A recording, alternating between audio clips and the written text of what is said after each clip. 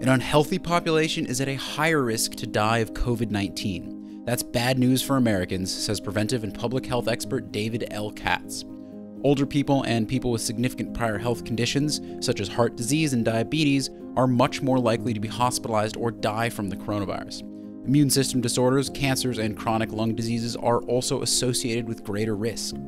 Dr. Katz and his colleagues estimated that about 45% of Americans, based on a CDC survey, had at least one of the factors that put them at a higher risk for severe infection.